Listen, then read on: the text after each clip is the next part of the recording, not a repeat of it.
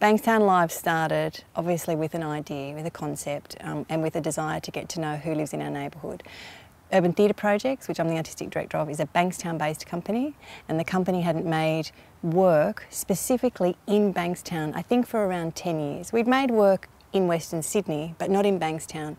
And because the West is shifting so rapidly in terms of demographics, I was really curious well, who is living in Bankstown now and, who is going to, and who's calling it home? I've lived in Bankstown, I can't say all my life, but from when I was two years old.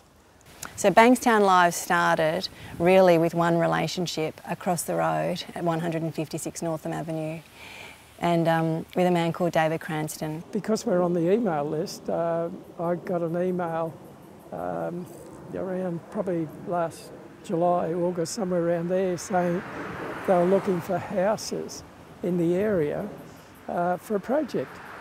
And when I read the email, it's the quickest I've ever responded to an email, I can tell you. I rang up and I said, uh, my house is what you're looking for. We send out kind of a whole range of info. Uh, we put it out in our e-news, looking for front and back gardens, and I honestly think within about two hours, David had called and said, I'm not sure if my backyard will be good enough, but do you want to come and have a look? We just stood outside and said hello and she had a look and I said, look, it's an old house, but what it has got is a, a I think the words were a pleasant backyard, a warm, welcoming feeling or attitude about it. So what do you think? Of course it would be good enough because he was offering it and um, you know, I also believe that that's, you just say yes. In walked this lady don't know her from Adam. Hello? I said, hello? She said, I'm Rosie. I said, oh, this is Wally, this is so and so, and that's there. Uh, okay. And she said, oh, we've got this project coming up, uh, blah, blah, blah. We'd be interested if, uh, if you be interested to lend us your house or whatever, and, and, and we're going to have a play, and I don't know what else. And I, I just said yes. Yes. And I love that because I totally believe that um, from one relationship can grow many. And I don't think that we have to, in doing Bankstown Live, from that one relationship, transform it into a thousand relationships. I think if we can, that one relationship can um, grow to a hundred, which I think it will out of Bankstown Live, I think that's pretty amazing um, because building relationships takes a long time. A lot of the work's from Western Sydney artists, or um, and I think that that's just really important. And the works that aren't from artists who, who live in Western Sydney or call Western Sydney home um, are artists who've just got a fantastic practice and it's just um, have, have found different ways to connect with people living in Western Sydney. It is pretty particular, you know, it's not every artist's cup of tea coming in you know, having to be so flexible and open in their practice to uh, like meet people who and then have a conversation with them and then sort of, you know, be thinking about, okay, how do I find the art in that of what I want to do or what is that content or how do I shape it and kind of recontextualise it into a, um, into an artistic form. And, you know, that's really exciting for me because I think it's always interesting to put an artist in an uncomfortable place because I think that is when you make your best work, when you feel like you don't know what is going to happen. It's a different way to practice and I think the work evolves in a different way then because you have a different level of investment in it because you've got other people who are investing in it who aren't artists basically. And so I'm not interested in, in artists coming and working with us in a studio. They can do that anywhere. You know, we're a company that is about building relationships um, and a company that's about going out from ourselves, you know, um, because when we go out from ourselves and find out stories from other people, you know, then we can shape them into something that's uh, that I think anyway becomes quite universal. We've programmed four hours of work and so uh, and we've tried to think about the whole shape of the night Really, so when people arrive, um, already it feels like we've shifted the energy. Yeah, so this is lemon scented gum. So I'll be using that today, which emits a nice perfume. And um, it's like aromatherapy, if you like. um, when I do the smoking ceremony. Get rid of uh, any bad spirits, any negative energy. Good evening. Uh, I'd just like to uh, acknowledge the Darug country from this around here. Bankstown Live is a place to stop, to not feel like you're rushing anywhere, and to um, and to listen to story. It's just really amazing that we've been able to achieve that, really because one man in this block said yes. I'm overwhelmed, I'm delighted, I'm, um, I, don't, I don't know, I, I, just to be a part of it is, is uh, well, you know, it just grabs me. I love this, honestly, I love the involvement and I've got a, a, a, a front row seat where I can just sit and relax and have a look. And I really hope this happens again. Every, I'm, I'm thinking every year it should happen, and more welcome, more than welcome to come and do it again. And I'll offer my garden as well. Alwin Reamillo's um, Hopping Spirit House. He designed and built that with a, a man called David Hawkes. Um, but then it's been decorated um, through a series of chime making workshops. Alwin and I have been talking about that project since 2011. Both of us feel deeply satisfied that we've got it off the ground. In the first half of the residency was building the house, and then once the house was built, it's to just go on, you know, on, on the phone, email, internet, using of social media, and then ringing up the, the, the, consulate, and then there's a one-on-one engagement. Uh, a lot of them were just chance meeting with people. And even these conversations with people, I, I guess it's a very important aspect of the work because you, that's how you get connected to the next person. So it was a build-up. Uh, some people kind of commit and then they back out, but that's part of the dynamic. I mean, I guess as a cultural worker, you take everything, you know, and then you kind of work with uh, elements in the project that, that, is, that are, uh, seems to pave way to new connections, uh, but you don't stop. No one person can carry that project on their own. You know, it's a project that needs people to help it be what it is. Uh, the practice of bayanihan, I think it's a very old practice of uh, people helping each other. Normally the context is if one family, and usually this happens in regional places, you normally have traditional houses made from bamboo. If one family would want to relocate for, for many reasons, they would call for a bayanihan, and it's usually a shared kind of task and shared uh, maybe labor. I, I initially focused really on the Filipino community because of the, the grounding of the project on a particular cultural practice. And the best way to demonstrate is to have a, a, visible presence of that community. I wasn't sure at the start of the project whether we will in be incorporating music, but and so I thought that maybe if you put chimes, and because it has reference to a kind of a spirit house, the spirit house and the wind and having an open structure allows it to kind of get more animated. And once you lift the house, I guess it takes the, the role of the music calls the spirit. It calls the spirit of, of community. Um, I wanted to do the project because it sounded like a community-based project.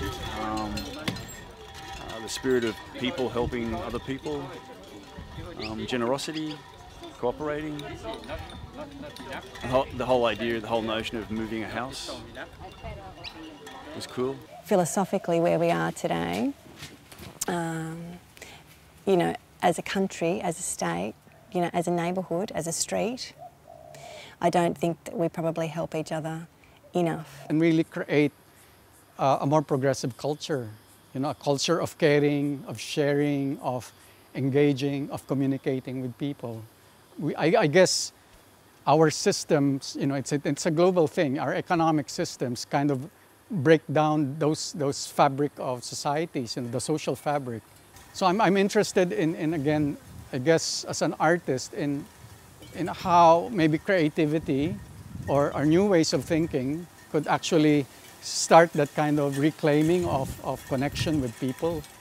You know, and the more we connect, the more we communicate, the less uh, misunderstanding we have, the more engaged we are in, in shaping our society. The more empowered we are as active citizens in, in, in, in, a, in a community, in a nation. And it's a magical way to start Bankstown Live, led by Uncle Stephen Williams um, as part of a smoking ceremony. And every night I see that house carried down that street, I really do get goosebumps and get quite emotional because it looks like it's floating. And it's a coming together of cultures, you know. One of our, um, one of our elders and traditional owners leading something that's been built um, and being carried by you know, people who are now calling Australia home. Okay, so now we spin. So if you, if you point, you can stay there, and the back point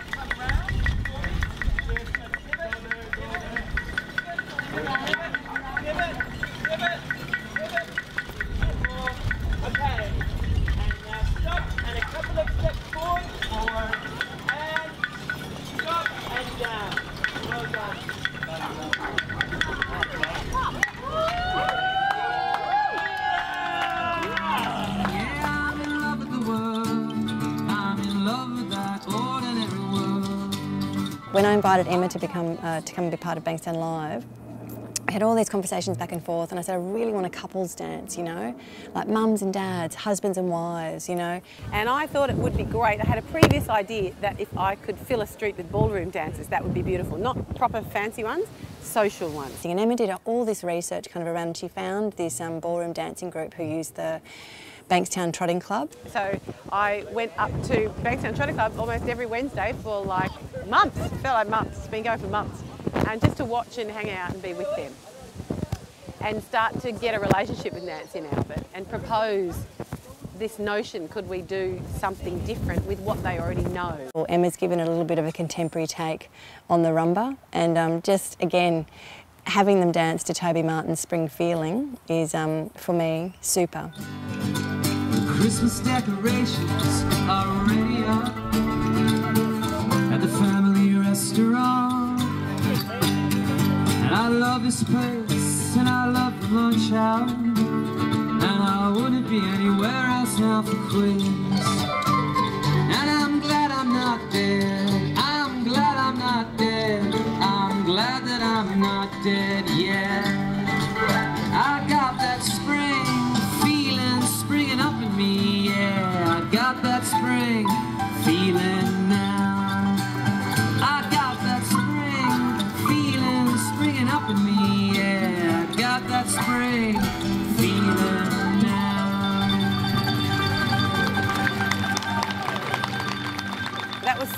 That was a good idea. We went great. Let's do that. And then the second idea, I thought would be uh, fun to come up with a hokey pokey for the 21st century, a kind of universal party dance that involved everybody from all cultures.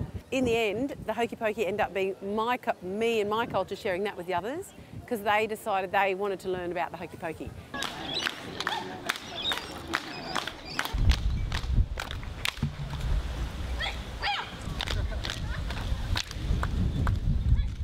With the dancers, you see such a wonderful mix of the community. Um, I really enjoyed the dancing that they've done on the street. It reminds me exactly of what my mum does in the parks in the mornings.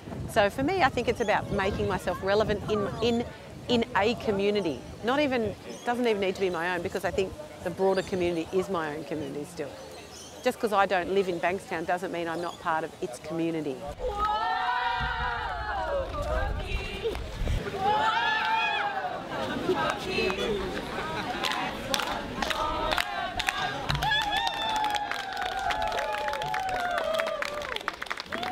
These are a whole lot of songs that I wrote on this on this street and the street that runs parallel. We're going to play some of them tonight. Toby Martin, who's um, who's written a whole bunch of songs, and it's songs from Northam Avenue. I mean, it's really you know they're songs, but they're poetry. They're absolutely beautiful. The first two songs that I wrote were very much about um, what I could see from from Ivan and Mitra's house, and that was um, David and his house. So I wrote a song that was inspired by something that David told me. This one's dedicated to David Cranston. Hi, David. Um, he's, he was my host while I did my songwriting residency, and he was he was great. Lots of uh, lots of good chats. Cups of tea.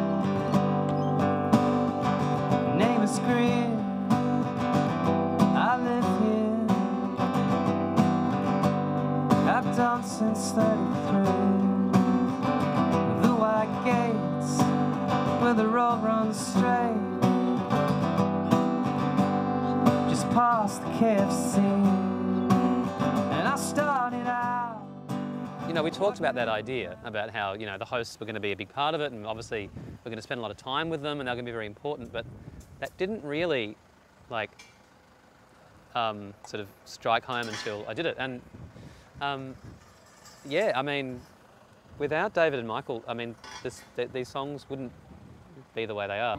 The other place I wrote songs, um, Chapel Road, just on the corner up there, is a coffee shop um, owned by a guy called Michael, and so I wrote songs at the front of Michael's coffee shop.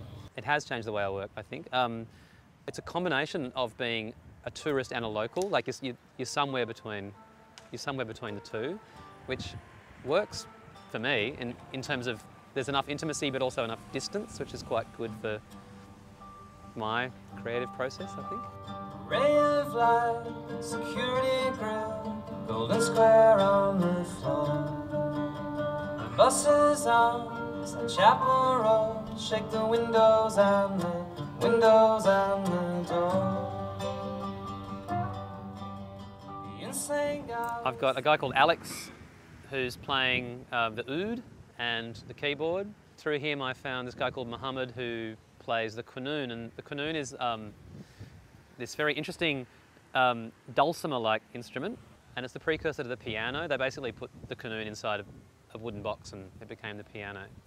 And then I've got also um, Anne Lin who plays um, what she calls the zither. It's like a Vietnamese zither, and uh, in her sort of group is a guy called Phu who plays monochord, and they're both traditional Vietnamese instruments.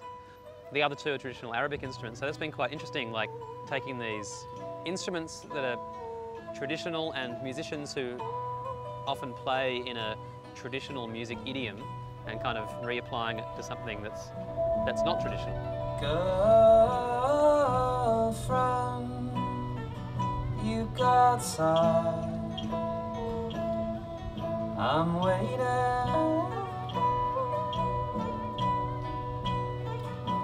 You come by. You lie. There are some people who probably would have just been the last thing they expected, and once their guard was let down, this whole sort of new world opened as well. And probably the same for me. I'm so excited about this.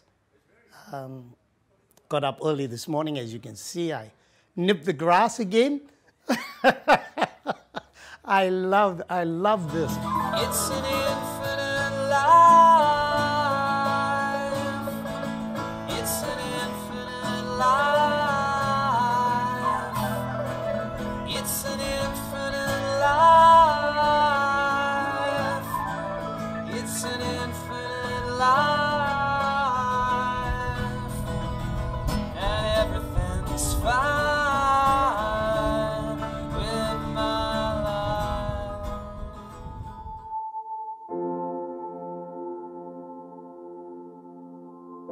We've commissioned six writers to write just a short piece, which then we've produced so it could be a podcast or, you know, play on the radio. And um, it's got this beautiful sound world built around it, and people uh, come into a backyard, this backyard actually, where I'm sitting right now, on one of these deck chairs, and put on some headphones and listen. An audience member last night told, uh, mentioned to me when they were coming out and said, Gosh, I just don't stop and listen. It was just permission to stop and listen to a story and look at the pomegranates in this backyard, the figs, the children were running in and out from where they're playing, and said it was just really beautiful. I was just taken somewhere else. A thin black girl with hair piled high on her head. Disposed of from the Cootamundra Girls' Home in 1928 to middle class Mosman. Before I go, I sit on Bunnings outdoor furniture with the bobble headed twink I share with. I ask him if he's got the HIV yet. You have to who's on the explicitly state, I give nothing to my son, and then you have to say why.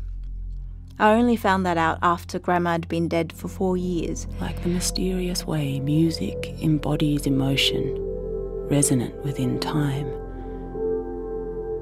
You are a part of me. I love the idea of just sitting and listening through headphones and listening to the, the writers, and that was great. Yeah, fabulous.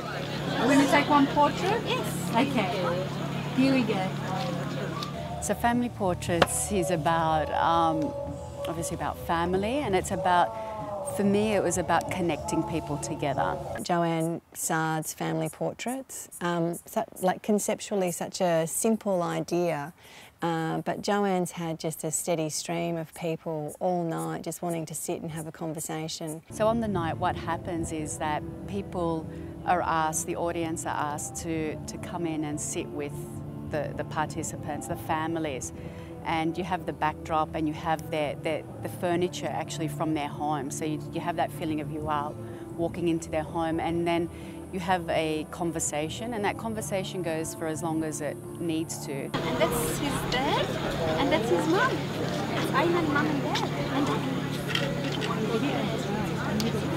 For me, for my work practice, I really love working with the whole thing of private spaces and um, in, within the public space as well. So this sort of project was ideal to be able to go inside, you know, local residents of Bankstown, inside their homes and photograph their interiors. But then to sort of take it that one step further and actually involve them within the process as well. So to bring, you know, their, their, their furnishings as, as part of the installation as well, to make it feel like it, it is that you are walking into their home. And, and just hearing the conversations, you know, they're saying, you know, welcome, you know, into our home, welcome into my lounge room. Um, and when people are leaving, you know, they always say, look, thank you for inviting us into your home. So, and, and, and that's, and that, that's for me has been really, really beautiful to, to see that sort of happening. And, and every night I don't know what's going to happen. So that's sort of like the nice element of surprise for me. We didn't think of it, we just say yes because uh, anything that promotes uh, meetings between people and so on, well, we're all too busy. We live in the McDonald area where everything is, uh, moves so fast and we don't have time even for our neighbours. Then after that conversation, I take a, a family portrait and then I send you, then a postcard is sent out so that you do have a, an actual hard copy of that particular image, but in a postcard form, which is, it's it, like the whole idea of postcard is about, you know, it's about memory, it's about being in a particular place at a particular time, and you know, it's you always store those postcards somewhere. For me, this project has been a bit different in the sense that I've been able to combine everything at the one time. So it's just photograph, you know, it's through photographs, but also there's that element of performance as well. The, the, people are actually really directing this, and I can't actually direct it. So it's, I have to follow what they're, you know, what's happening at that at that moment in time, which is it's really exciting to have been done. But it's been maybe one of my favourite projects I've worked on. If I'll get you to turn a bit more this, yeah, your face a bit more. Yeah, that's it. Because the light was getting your shadow. You've got to get my best profile. Fantastic. Beautiful. That's great. It Doesn't make me look too old. No, you're not. Woke up quick at about noon. Just thought that I had to be in Compton soon. I gotta get drunk before the day begins. Before my mother starts bitching about my friends. About to go and down there with Just before I have to go to school. Mum tells me to go and sit with my grandmother. And grab my clip with the Mac 10 on the side of my hip.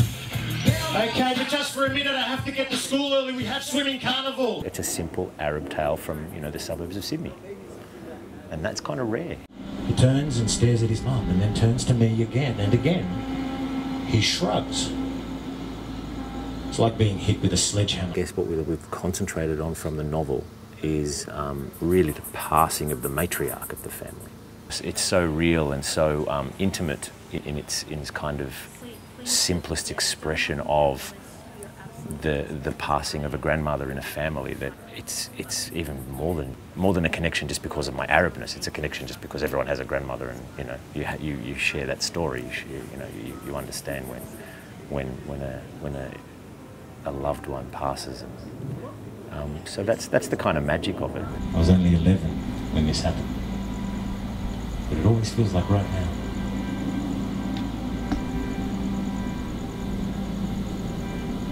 the sun, still weaving in and out of the clouds. The hearse, vanishing down Keithlin Street. And all the way, the voice of Beth and Ehud weeps.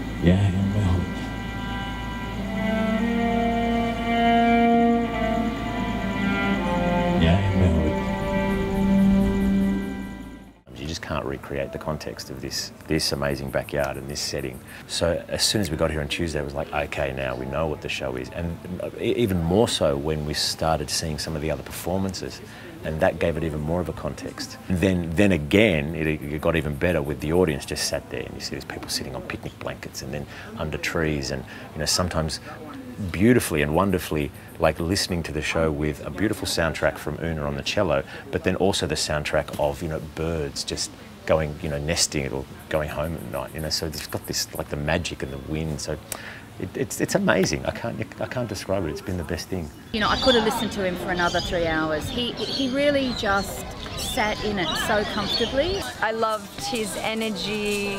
Uh, at moments, um, I was like, my heart was racing, and um, and also it was just really nice to be let into another world.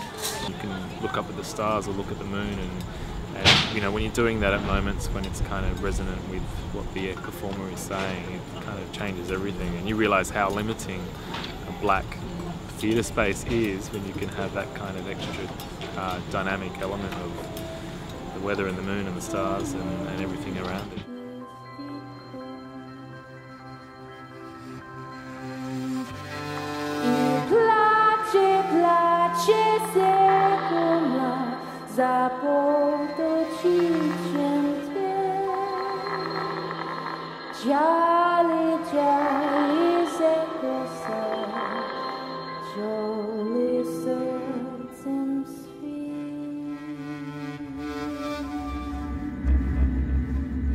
Over a year ago, I got contacted by Rosie Dennis, who's the artistic director of the company, and we met in Sydney when I was up here performing at something else at the festival, and we were talking about what Bankstown Live was all about.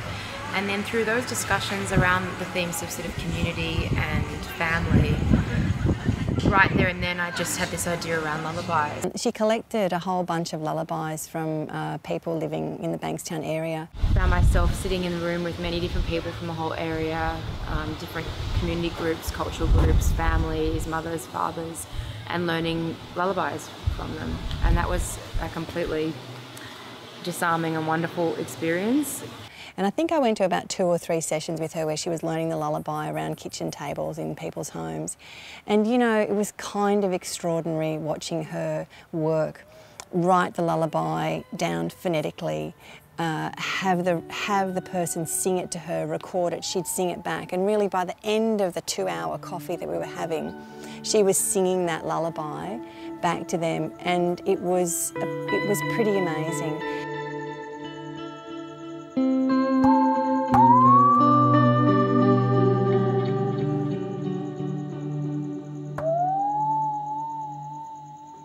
Your army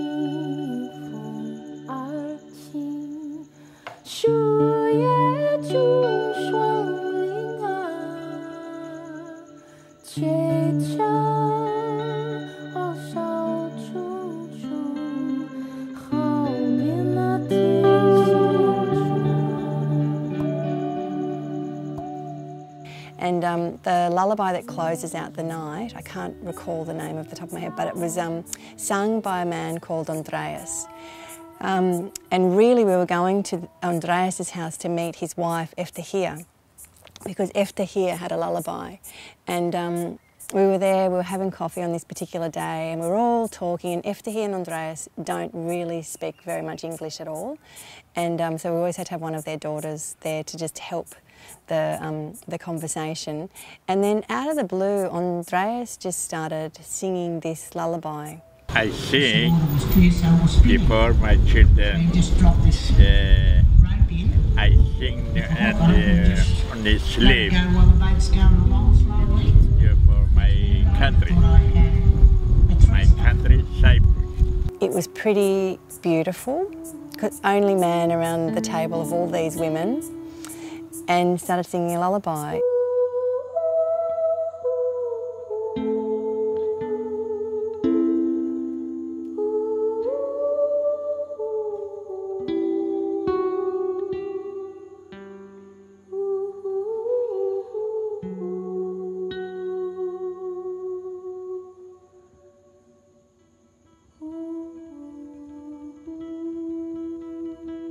And Andreas has come to Bankstown Live every night and he's listened to Toby Martin's set and then he's walked up to the Lullaby Movement and that whole family's come up the last three nights as well. I couldn't believe it was live, like the voice was so incredible to, to be doing that in a suburban driveway and have it sound like, you know, kind of like it's at the Opera House or something it was, it was incredible.